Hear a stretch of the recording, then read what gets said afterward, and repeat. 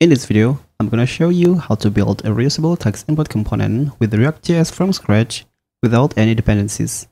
As you can see, if I type something, then hit enter, it marks as a tag.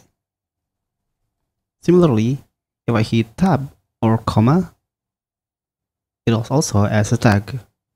To remove a tag, I can hit backspace on the keyboard or by click on the X button.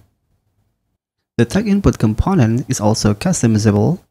We can custom the tags in different colors, as you can see here. Okay, without further ado, let's get started.